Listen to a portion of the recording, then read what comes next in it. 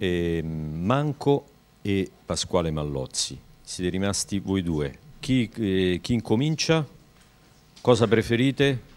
Manco, Manco, allora, eh? allora Pasquale Mallozzi. Pasquale eh, Mallozzi, giornalista del eh, Corriere dello Sport, del Guerri Sportivo e docente alla eh, Sapienza di Roma.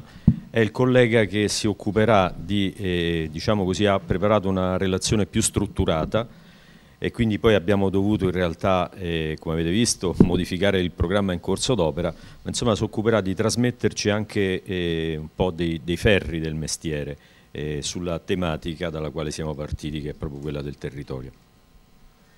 Buongiorno, spero di rispettare queste indicazioni di Ivano, che non garantisco però perché in realtà eh, non so se riuscirò a fare tutte queste cose assieme. Intanto la prima cosa che ho fatto è sintetizzare il titolo perché neanche la Vermüller avrebbe tirato fuori una titolazione così ridondante, quindi mi sono concentrato su alcune cose che secondo me sono quelle più significative, appunto abitare, raccontare il territorio. Una precisazione immediata, naturalmente, nonostante le indicazioni di essere concrete, ci saranno moltissime generalizzazioni. Queste generalizzazioni purtroppo sono insite nel nostro mestiere, tra l'altro volevo segnalare che io in realtà sto in pensione, quindi tutte quelle cose che ha detto risalgono a due o tre anni fa, quindi anch'io sono stato espulso di fatto dalle redazioni, quindi siamo comunque, condividiamo purtroppo qualcuno con qualche precarietà in più, perché io almeno una pensione sia pure un po' più limitata ce l'ho, eh, molti di voi no e questo vi sono vicino, ma più di questo non posso fare. L'unica cosa è appunto è portare l'esperienza di una quarantina d'anni di mestiere che è entrata abbastanza presto, peraltro anche in conflitto con la mia attività anche di docenza a contratto e quindi anche qui vedrete che un po' di cose entrano un po' in conflitto tra loro. Alcune cose, tra l'altro, immagino che qualcuno che abbia già uh, visto le mie cose o ascoltato alcune mie presentazioni, in realtà le, le ritroverà aggiornate. Questo lo faccio anche perché, un po' per pigrizia, ma anche perché eh, è, stravagante come le cose che io più o meno ripetutamente dica, ogni volta vengono rivissute, ricommentate e, e, e lette in maniera completamente diversa dalla precedente. Cioè io solitamente parlo per esempio dei social network, della rivoluzione digitale, di queste cose qua, e puntualmente il contesto le ritrasforma. E questa è già una prima indicazione di come questo mestiere sia abbastanza stravagante. L'altra stravaganza è che noi parliamo di territori. Allora, anche qua eh, è una parola, eh, quali territori? Nelle, nei licei ormai la geografia per esempio non si fa più, no? E un prima punto fermo dovrebbe essere che i territori che stiamo frequentando sono stati completamente rivoluzionati anche dalla rivoluzione digitale. Quindi anche già stessa, il stesso concetto di territorio è qualcosa, dobbiamo partire da una cartina, che quantomeno è sottosopra, perché è completamente rovesciata rispetto alle nostre conoscenze. È carino qui. Sto leggendo, permetti? Mi scusi, signore. Grazie. Ordino qualcosa pure io. No, tu non ordini un cazzo, ormai è andata. Lasciami leggere il giornale, basta parlare.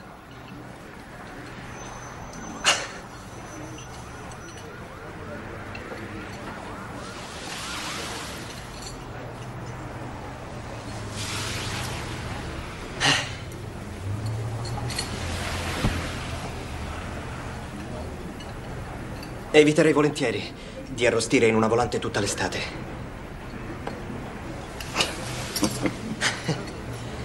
Raccontami una storia, Oit. La mia storia? No, non la tua storia, una storia. Se non ce la fai a lasciarmi leggere in silenzio il mio giornale, almeno raccontami una storia. Io non conosco nessuna storia. Non conosci nessuna storia? No. Allora te ne racconto una io. Questo coso si chiama giornale. Stronzate per il 90%. Però è divertente. Per questo lo leggo, perché mi diverte. Tu non me lo lasci leggere, quindi adesso divertimi con le tue stronzate. Forza, raccontami una storia, vai. Beh, è il fermo di un ubriaco al Un volante. ubriaco? Ma fammi mettere il colpo in canna. Allora, avete sentito, molti ci hanno detto che dobbiamo raccontare delle storie, insomma, dobbiamo essere un po' dei cantastorie. In realtà lo facevamo soprattutto attraverso i quotidiani, no? soprattutto attraverso la carta, soprattutto attraverso la scrittura. E più o meno una situazione familiare era questa, no? nell'auto la mattina leggevamo queste storie. Tra l'altro bisogna tenere presente, non sono le esperienze che viviamo a cambiarci, a formarci, come comunemente si crede, ma le storie che noi raccontiamo di quelle esperienze.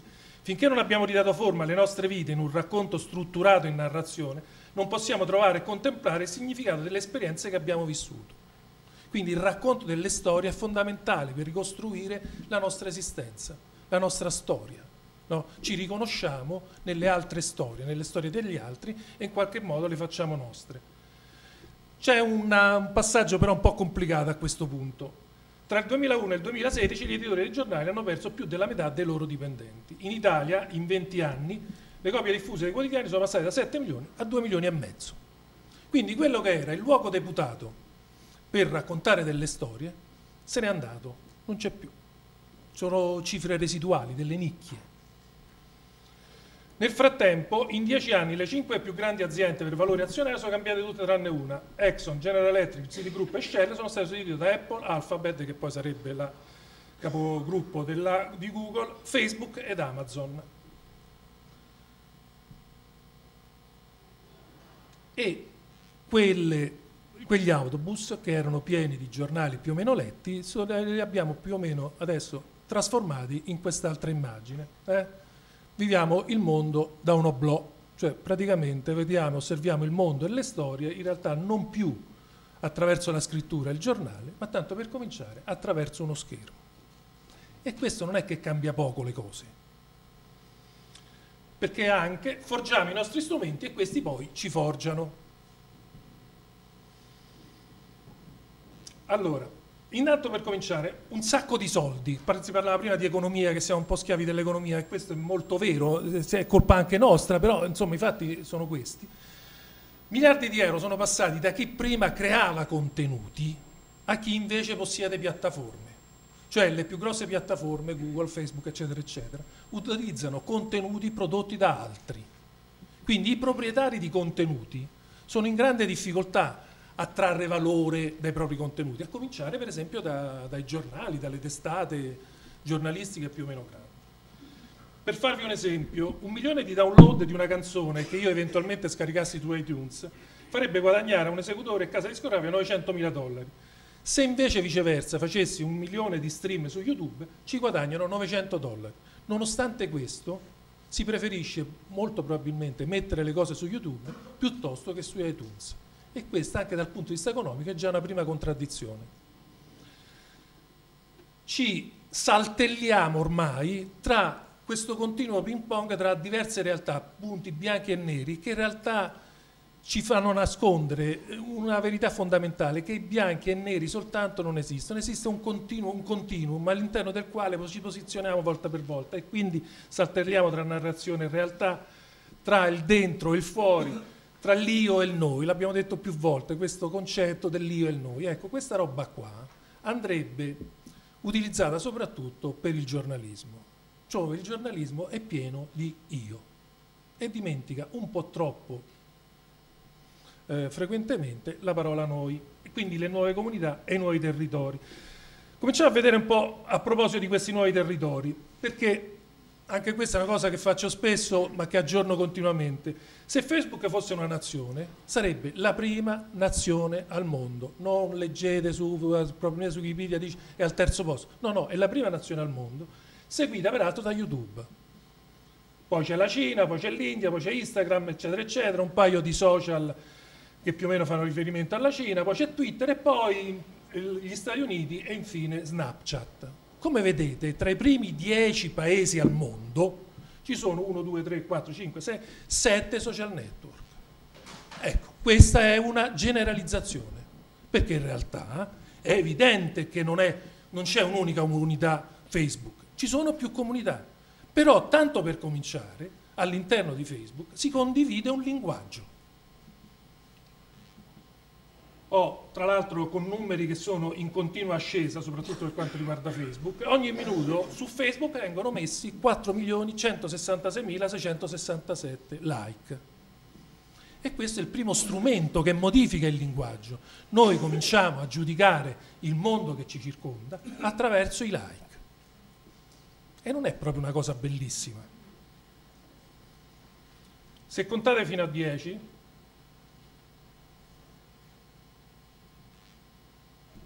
spero mi faccia scherzi, ecco, ogni 10 secondi vengono caricate su YouTube 50 ore di video.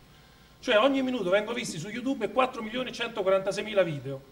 Che significa che per vedere i video caricati in un mese mi servirebbero 6 milioni di anni. 40 anni di contenuti al giorno. E questo è un po' che succede ogni minuto a proposito di spam inviate. Cioè. Guardate quanta produzione c'è, quanta produzione di contenuti. Chi produce tutti questi contenuti?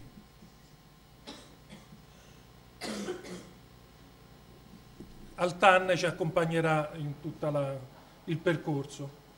E uno dei problemi è appunto anche questa distanza tra espressione dell'io, cioè il pensiero che il giornalista sia qualcuno che sia in grado di poter esprimere al meglio le proprie opinioni, al problema invece della comunicazione. Comunicare è una cosa un po' diversa, è condividere e sapere che c'è un qualcun altro eh, che ci deve leggere, ascoltare, ma col quale noi dobbiamo partecipare alle cose che riguardano tutti noi. E quindi bisognerà prima o poi pensare che bisogna soprattutto privilegiare la comunicazione piuttosto che l'espressione, cioè capire che la, il baricentro si sta spostando dalla parola scritta, detta, alle orecchie di chi ascolta, dalla voce al suono di chi ascolta. Cioè dobbiamo quella piramide rovesciarla e non pensare che dobbiamo, cioè, al centro il giornalista che esprime la propria opinione, ma al centro c'è la comunità dei cittadini eh, che devono partecipare alla vita pubblica soprattutto attraverso la comunicazione. Quindi il giornalista è parte integrante della comunità e del territorio nel senso un po' lato, nel senso più ampio, cioè un territorio che non necessariamente è geografico, è un territorio fatto di una comunità che condivide determinati valori e determinate eh, società. Quindi uno dei problemi è per esempio anche quello dell'abbandono del territorio della scrittura, no? che non significa abbandonarlo, significa capire che non è più l'unico centro, tra virgolette, educativo. L'ha detto prima padre Lamanna, molti giovani non ci stanno a sentire e allora anche attraverso il linguaggio dobbiamo trovare dei territori un po' più condivisi. No? Per esempio cominciare a ragionare attorno a questo territorio dei like che non è per niente foriero di buone cose, no? proprio perché probabilmente aumenta l'idea, l'informazione, ma abbassa sicuramente il senso della complessità, diventa tutto molto più semplificato, tutto più fatto di bianco e nero. C'è la logica appunto del a favore o contro, eh, così come c'è la schedatura, nel senso tutti quelli che mettono un like su Facebook fanno inconsapevolmente parte di una comunità che può essere utilizzata poi a fini politici o commerciali.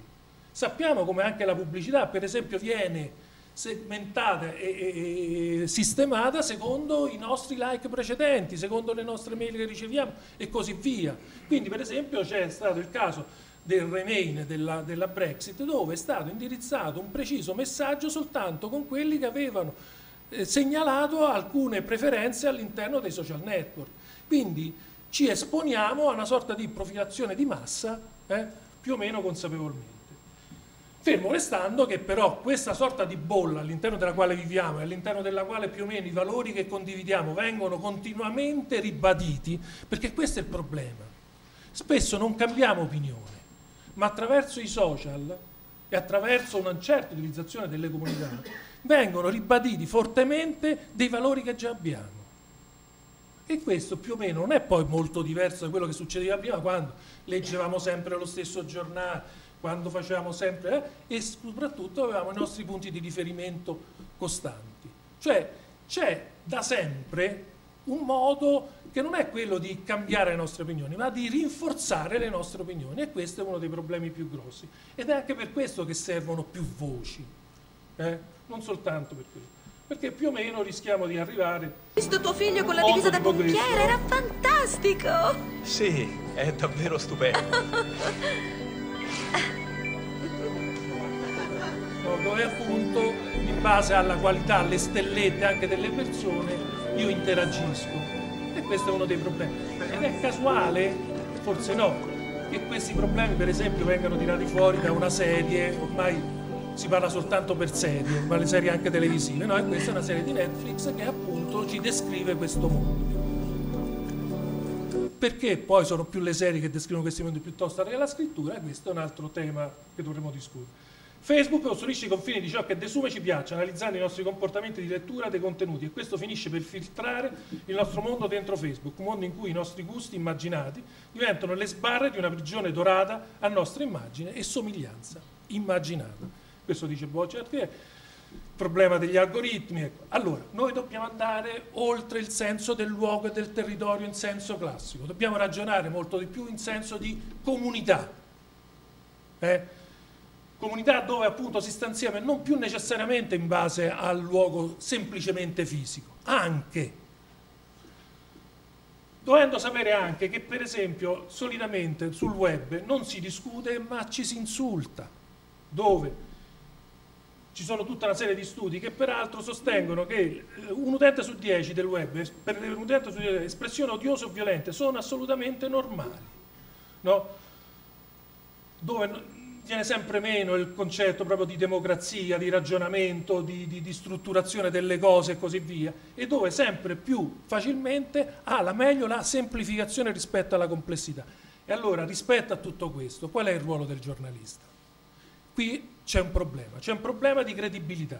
Ho visto delle serie, io non ho visto niente, quando ci avremo quello che dobbiamo far vedere lo faremo vedere, non vi preoccupate, lo saprà tutto il mondo. Cioè loro lo mettiamo su Facebook perché non si può fidare nessuno di voi. Cioè la disintermediazione nasce anche perché c'è un problema di credibilità. Quando il giornalista va sul territorio anche a chiedere delle cose, non viene ritenuto credibile non viene ritenuto un personaggio qualificato per descrivere il, proprio, il loro problema. La signora qui dall'alto del pulpito sostiene quando ci avremo qualcosa da dire lo diremo su Facebook e lo saprà tutto il mondo, quindi un problema che da locale diventa globale, ma lo diremo attraverso Facebook.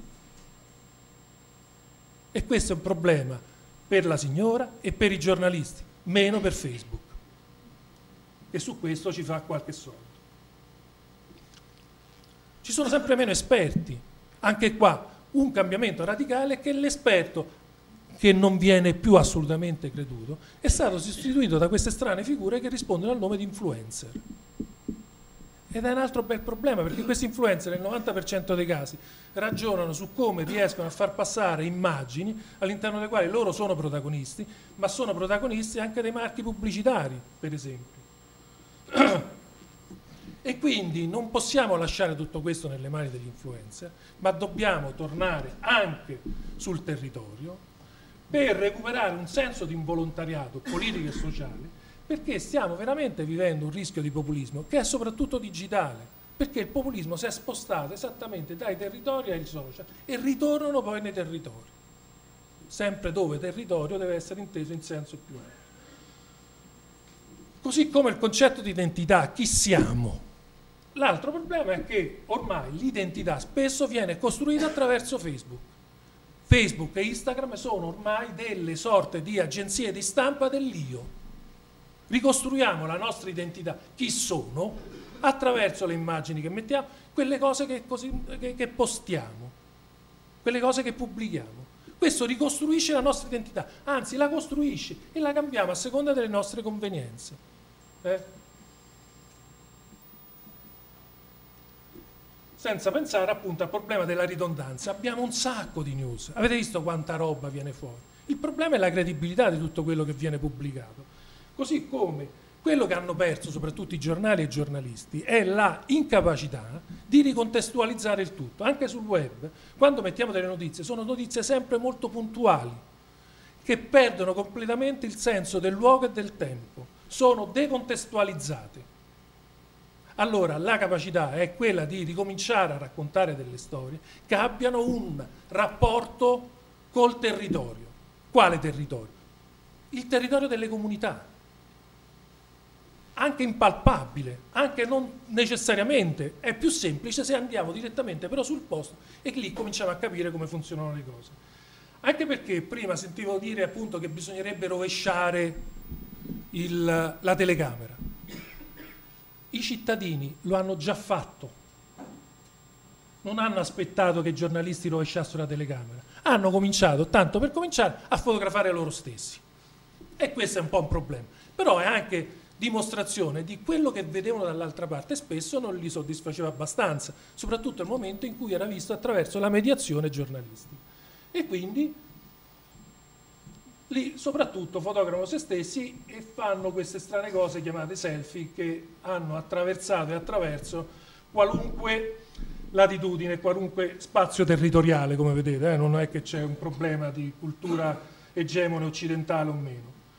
Fanno una cosa in più, se sono in presenza di un fatto, tra virgolette, di cronaca, lo fotografano e lo postano. Cioè, più o meno, vedono, documentano, registrano e pubblicano. A occhio è un'attività molto giornalistica. No, fanno esattamente quello che avrebbe fatto qualunque giornalista, prima ancora di andare a soccorrere, intanto documento. E questo è un altro problema no? significa che non è in crisi il giornalismo, che anzi lo praticano tutti, sono in crisi i giornalisti. E allora qui dobbiamo recuperare un pezzo di professionalità. E come si recupera un pezzo di professionalità? Tanto quelli dell'ordine sono andati via tutti, no?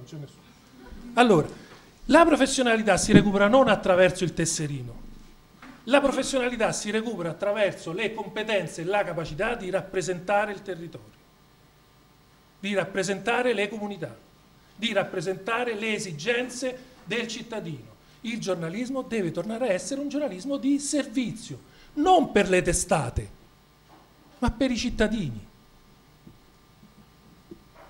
Perché poi nel frattempo i protagonisti no, non aspettano neanche più le telecamere.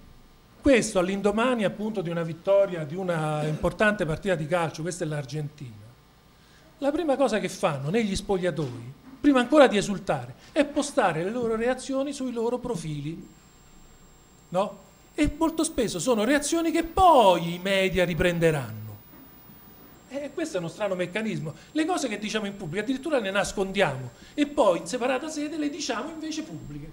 Cioè c'è veramente un cortocircuito assoluto.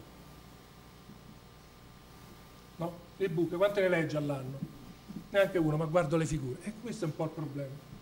Se io ho questo nuovo media, la possibilità cioè di veicolare un numero enorme di informazioni in un microsecondo, mettiamo caso a un aborigeno dalla parte opposta del pianeta, ma il problema è, aborigeno, ma io e te, che cazzo se dovevo dire?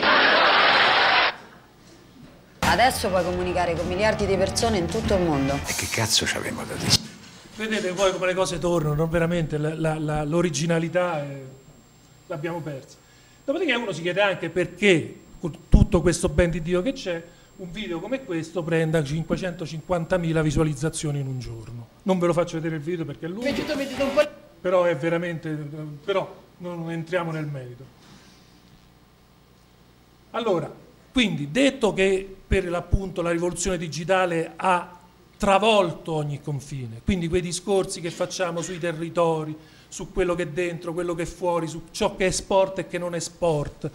Ecco, tutto questo è stato completamente travolto, è diventato un qualcosa molto magmatico, liquido, direbbe Beck. E soprattutto che far passare un messaggio mediale, nonostante tutti i nostri tentativi anche di essere pedagogici e tutto questo, eh, Fare un passaggio mediale nello spazio intimo tra i consumatori e il torrente di informazioni intorno a se stessi diventerà sempre più difficile. Molti giovani consumatori sono diventati essi stessi delle mini imprese editoriali che distribuiscono freneticamente i propri contenuti su Vine, Instagram, YouTube, Snapchat. È difficile ottenere attenzione per i media quando sono così presi a produrne dei propri. Ecco, noi abbiamo a che fare con una platea che soprattutto passa, anche perché poi la giornata è limitata, passa gran parte del proprio tempo a produrre cose che forse nessuno vede. Il mio Vabbè, problema McLuhan, se no veramente. Allora, il giornalismo non si sta evolvendo, sta per essere rimpiazzato. È l'idea, molto più di un'idea, forse la constatazione quotidiana, che il 95% di ciò che costituiva un giornale e la sua offerta di valori al lettore viene lentamente ma costantemente erosa da servizi che non pretendono neppure di assomigliare al giornalismo, ma che di fatto rispondono a molte esigenze informative e civiche che un tempo erano soddisfatte dal giornale. Cioè quel ruolo che i giornali e i giornalisti avevano all'interno delle comunità e, al- al- e- e- all'interno dei territori vengono adesso svolte di fatto dai cittadini. Con quali strumenti? E questo è l'altro problema. E qui entra in campo la deontologia, che non è un problema però di carte. È giusto quello che diceva Giulietti, ma non è solo un problema di carte, è un problema di metodo di lavoro. Allora il giornalismo deve tornare, o meglio, entrare nelle scuole per spiegare esattamente qual è il metodo giornalistico. E i giornalisti devono condividere un metodo. Bisogna certificare, esattamente come si fa negli esperimenti scientifici, qual è il protocollo. Quando è che una notizia, che difficilmente possiamo identificare tu come vera, è quantomeno garantita da alcuni meccanismi che ci facciano dire quella notizia non è sicuramente una non notizia, perché non esistono le fake news, esistono le non notizie. Perché se una notizia non ha almeno un margine di credibilità e non è legata appunto all'accortezza rispetto alle fonti, rispetto a- alla verifica e così via, allora bisogna recuperare un senso deontologico che serva a far distinguere un prodotto giornalistico che quindi risponde a un criterio metodologico rispetto a un prodotto che è fatto dal cittadino qualunque. E questa differenza non può che essere fatta non dal fatto di essere giornalista, ma come- da come si fa giornalismo. Quindi da che tipo di metodo viene utilizzato e dalla una sorta di certificazione che non è dato da Google, da Facebook o dalla testata, è data dallo strumento giornalistico e dalla competenza giornalistica. È solo così che ci si distingue dal cittadino comune. Anche perché nel frattempo c'è un sacco di gente che produce materiale giornalistico che le testate e i giornali poi ripubblicano.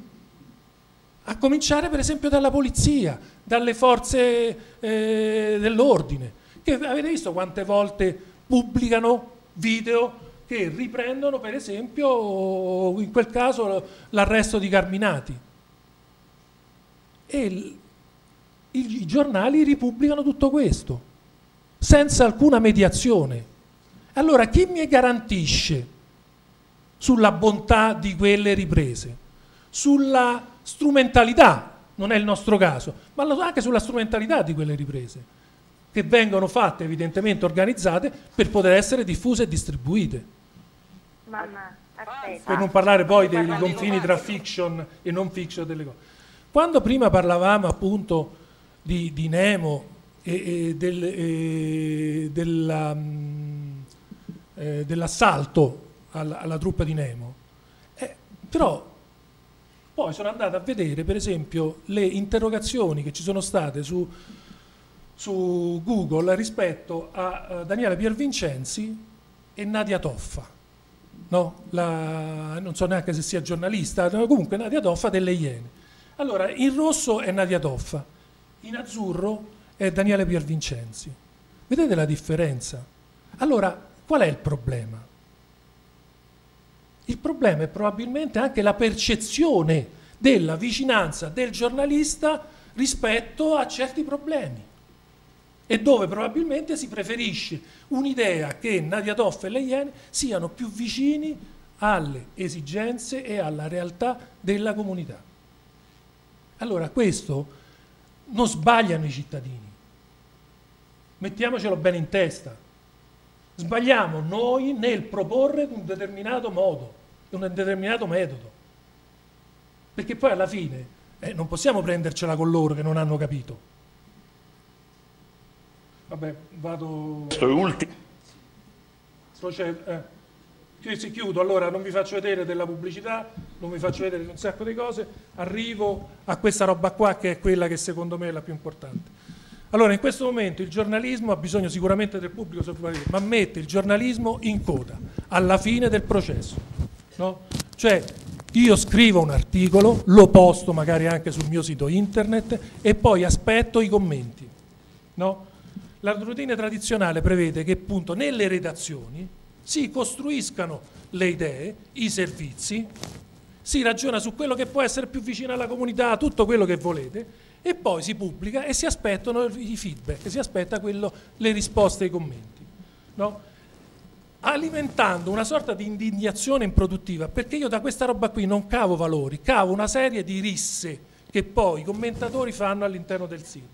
Le domande del giornalista solitamente sono lunghissime, no? tipo... Buonasera. Quello? Vorrei chiedere... Oh, vediamo perché io non è che mi fido molto di questo santore. Vorrei chiedere Pronto? a quello, sì, Pronto? pronto? Eh, lei viene qui come profeta, come guru o come nostro salvatore? Col treno da Foggia.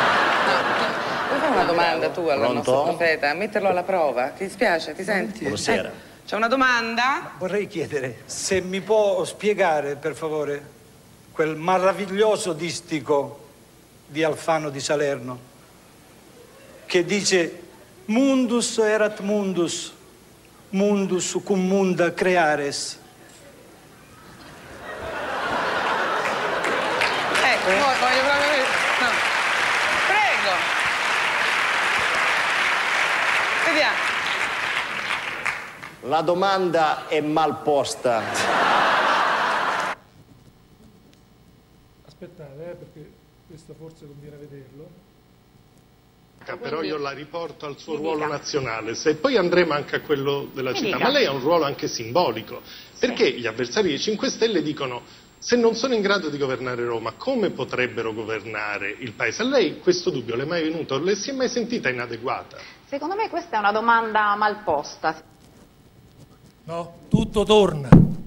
Se noi facciamo delle domande lunghissime, non otterremo delle grandi risposte, perché noi non andiamo a fare domande solitamente. Andiamo a cercare la conferma delle nostre idee, esattamente, o delle nostre tesi, esattamente come fanno i cittadini su Facebook. E allora bisogna rovesciare questa piramide. Bisogna riportare il pubblico in testa. Le domande non, fa- non devono essere rivolte loro dopo che abbiamo costruito il servizio o mentre costruiamo il servizio. Le dobbiamo ricostruire prima, vivendo il territorio, vivendo la comunità e capendo esattamente quali sono le domande che i cittadini si rivolgono o rivolgono a loro stessi. Dobbiamo viverla quella comunità, prima, non dopo. A Ostia è stato sacrosanto andarci, ma a Ostia bisognava starci prima. Non bisogna lasciare quei riflettori accesi dopo l'evento. Bisogna andarci prima e farsi riconoscere. La scorta mediatica funziona molto se è una scorta comunitaria, non mediatica. Quella mediatica arriva dopo i fuochi. Dobbiamo essere paladini della comunità, anche della verità a volte, ma non è neanche tanto giusto. Dobbiamo essere soprattutto paladini delle comunità e viverle quelle comunità, viverle quelle realtà e quei territori e rappresentarli e fare in modo che siano non necessariamente le testate, ma che l'informazione cammini partendo da lì, non al contrario. Non aspettare che questa comunità venga interpellata a servizio finito, a servizio già fatto. Anzi, dobbiamo chiedere quali sono le inchieste che eventualmente vi interessano. Poi io con i miei strumenti cerco di portarle a termine. Ma sono le vostre esigenze, non le mie, non le esigenze della testata che io devo eh, rappresentare, ma le esigenze appunto della comunità. E qui appunto tutte quelle cose che, e appunto fare in modo che quel santo grale della comunicazione tenga insieme l'originalità, la rilevanza e la popolarità. E quindi più o meno queste sono le cose che volevo dirvi. Il servizio appunto non è per il pubblico, ma con il pubblico, quindi con la comunità, chiedendo ed ascoltando. E visto che abbiamo iniziato con la cartina, chiudo con la carta. E ma...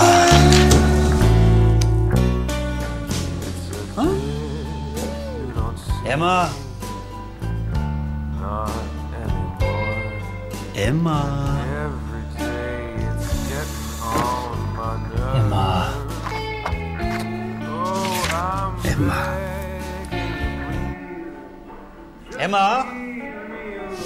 Ecco, il digitale sì, ma fino a un certo punto. Grazie.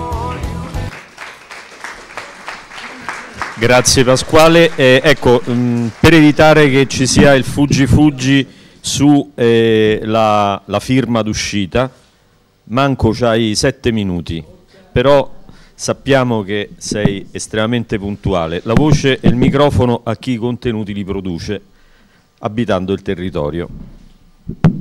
Sì, intanto ringrazio tutti chi ha stamattina arricchito chi anche, insomma adesso avevo chiesto infatti di intervenire dopo per, per ascoltare anche l'ultimo contributo. Grazie davvero, grazie a Ivano, credo che la WISP abbia cominciato nel modo migliore le celebrazioni del proprio settantesimo. Noi quest'anno metteremo in fila una serie di iniziative diciamo, su vari temi e il tema della comunicazione sociale era uno di quelli importanti su cui abbiamo sempre investito, abbiamo intenzione di investire sempre di più. Cerco nei 7-8 minuti di essere molto sintetico, quindi di schematizzare l'intervento. Questioni di carattere generale, ho ascoltato delle parole chiave che io riprenderò, questione del territorio e il che fare chiaramente nel rapporto con i comunicatori, la comunicazione e il giornalismo. Tema di carattere generale, prendo due cose riprese soprattutto dagli interventi di Giulietti e dagli interventi di, di Padre Lamanna. La dico così, dopo dieci anni dal 2008, dalla crisi della Lehman Brothers, dalla grande bolla, dalla crisi economica, da quella crisi che sta trasformando non soltanto i rapporti economici sociali, ma anche appunto i rapporti relazionali, no? il sentirsi, la dignità, come diceva Padre Lamanna, di ognuno di noi. Lo sport, e ancora meglio, lo sport sociale in questo Paese nel 2018, dove lo vogliamo mettere? E soprattutto guardando in prospettiva nel ruolo del terzo millennio, che ruolo deve svolgere lo sport sociale e quale diciamo, eh, punto della classifica dei valori complessivi delle politiche pubbliche e dei valori di ognuno di noi lo vogliamo, lo vogliamo mettere.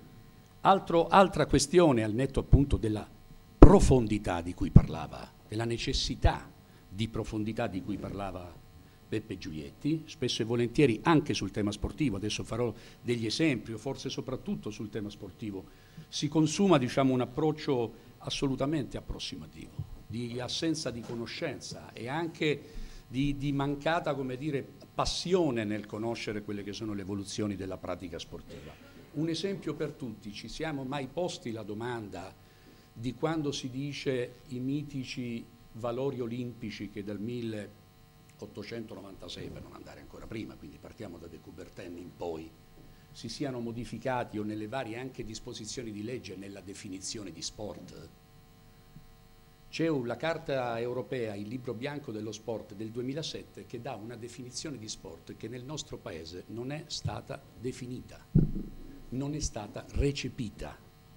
E ancora oggi quando si parla di sport, se non è lo sport sociale, la WISP come anche altri soggetti, altre associazioni, a dire proviamo a capire perché anche oggi, chi meglio di me è intervenuto prima, no? si è posta la domanda, che cosa si intende oggi per sociale? Cosa vuol dire oggi lo sport sociale? Primo esempio, la Juventus o la Serie A o la Lega di Serie A decide la giornata dell'antirazzismo. Striscioni, bambini che vengono accompagnati dai grandi campioni, le magliette, punto. L'antirazzismo quotidiano, quotidiano delle società sportive, della WISP, delle 17.800 società sportive della WISP o di altri enti di promozione sportiva o di altri rappresentanti allo sport sociale, quanto producono nella coscienza collettiva e soprattutto prima individuale nel costruire una cultura dell'antirazzismo in questo Paese attraverso la pratica sportiva, attraverso l'attività motoria e le forme di socializzazione. Ce lo siamo mai chiesto? Allora, rispetto a questo, sempre per stare sui temi generali, le politiche pubbliche hanno cominciato a chiederselo. Lo sappiamo tutti che in questo Paese è arrivata di recente la legge di riforma del terzo settore. Presso il Ministero del Lavoro c'è una commissione che sta lavorando per definire l'impatto e quindi la definizione di valore sociale perché tutte le organizzazioni di terzo settore possano essere riconosciute e quindi destinatarie di fiscalità di vantaggio e quindi di, utili, di riconoscimento di utilità sociale. Quando si dice lo sport è sociale perché spesso e volentieri nell'impattare con la rappresentanza del sistema sportivo, comitato olimpico in generale, lo sport è sociale in sé, stando sempre sul primo pezzo generale. Faccio delle domande e degli esempi perché appunto non ho tempo. Se lo sport è sociale in sé, la domanda che io faccio ai rappresentanti delle politiche pubbliche che riconoscono la fiscalità di vantaggio, se io nel costruire il mio percorso legittimo del medagliere, dei grandi trofei, delle grandi prestazioni. Do una possibilità, anzi, non do una possibilità di inclusione e di partecipazione piena al mio figlio, alla mia figlia, ai nostri figli, no? di una grande comunità appunto come il nostro paese o le persone, perché seleziono, seleziono la capacità di portarsi a casa quel trofeo, tutti coloro che rimangono dietro qual è la ricaduta sociale di quella roba lì? E quella roba lì, chi la raccoglie? E io aggiungo, se non la WISP o agli altri soggetti, e io aggiungo come viene raccontata. Perché in questo paese sono circa 35-40 anni in cui discutiamo e i giornalisti vengono ad ascoltarci, che la fascia dell'abbandono sportivo è sempre la stessa, uguale, non cambia, perché come diceva padre Lamanna, non si è modificata la cultura sportiva di questo paese, non si è modificata l'idea di sport di questo paese. E aggiungo, siamo l'unica anomalia mondiale come ordinamento sportivo. Abbiamo un CONI che è un ente pubblico di secondo livello, tutti gli altri comitati olimpici sono privati, tutti. E noi non riusciamo a scardinare questo e quindi spesso e volentieri il giornalismo italiano rischia al netto delle testimonianze che abbiamo ascoltato qua e che sicuramente ci saranno eh, tra di voi e ce ne sono magari anche tanti, ma rischia di costruirsi sempre un approccio rispetto al racconto, alla narrazione, al rapporto con la pratica sportiva e con lo sport in sé, che non è appunto quello dell'esperienza di Solliciano, perché comunque lo sport è un valore sociale in sé. Vogliamo parlare del doping, Vogliamo parlare di ciò che viene comunque definito gioco, pratica sportiva, non vado alle slot, eccetera, perché mettiamo le slot, da lì prendiamo anche le risorse fiscali e poi dopo dobbiamo pagarle perché dobbiamo intervenire sulle ludopatie e via andare. Allora, qualcuno ce lo dirà un giorno, quindi ce lo chiederemo, costruiremo una vera e propria alleanza su questo per capire qual è il reale valore sociale, che cosa si intende per pratica sportiva su questo. Aggiungo anche altri temi e chiudo il primo pezzo. È chiaro che su questo...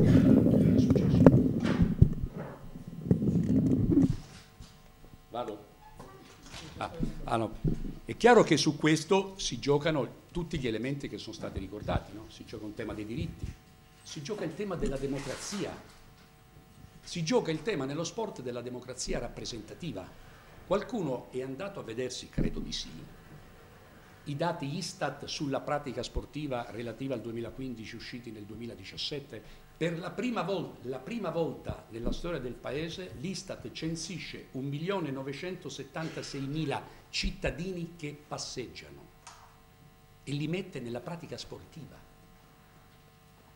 Quei cittadini quale fiscalità di vantaggio hanno? Quale riconoscimento di utilità sociale hanno?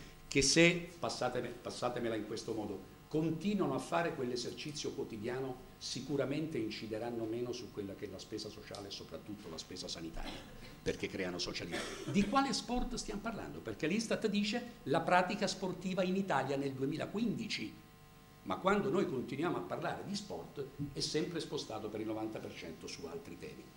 Vogliamo parlare delle risorse? Si fa fatica a spostare un euro dai mitici diritti, lo diceva di Trapani prima, un euro, che però lo sport è sociale. In più non ci aggiungo ciò che è accaduto anche nelle normative recenti, dal pacchetto sport in legge di stabilità e via dicendo, perché siamo diciamo, costantemente in mobilitazione politica, culturale, associativa per poter dire attenzione, perché tutti istituzioni, ministeri alti, eh, regioni, eh, istituzioni locali e via dicendo, reti sociali, il grande valore dello sport, il grande valore sociale. Eh, ma quando cominciamo a toccare la ciccia, la divaricazione continua sostanzialmente ad esistere. Quindi, primo tema è conoscenza delle cose che realmente esistono. Ne aggiungo un'altra, chiudo davvero col primo pezzo. La WISP è stata protagonista, fatemelo dire con un pizzico d'orgoglio, sulle nostre celebrazioni, perdonateci, dei 70 anni. Pizzico d'orgoglio. Siamo l'unica grande organizzazione, a proposito di, di disintermediazione, l'unica grande organizzazione di questo paese, dice le riforme, bisogna riformarsi, la classe dirigente, c'è necessario il ricambio, l'ascensore sociale, l'unica grande organizzazione di questo paese che ha posto in atto un'autoriforma. L'abbiamo fatto perché dobbiamo sentirci dire che siamo bravi? No, l'abbiamo fatto perché capito, abbiamo capito che è arrivato il momento per cambiare anche il nostro stesso modello organizzativo per essere sempre più vicini al territorio, ai nostri comitati territoriali, alle nostre società sportive, ai nostri soci, alla nostra comunità. Qualcuno ce l'è venuto a chiedere. Abbiamo fatto iniziative pubbliche su questo. Il 19 marzo del 2015 la WISP, altra battaglia, la WISP, altra battaglia, fatto una conferenza stampa alla Camera dei Deputati ed è stata ricevuta dalla Presidenza del Consiglio perché abbiamo fatto una battaglia sulla trasparenza e la tracciabilità dei dati dei nostri soci.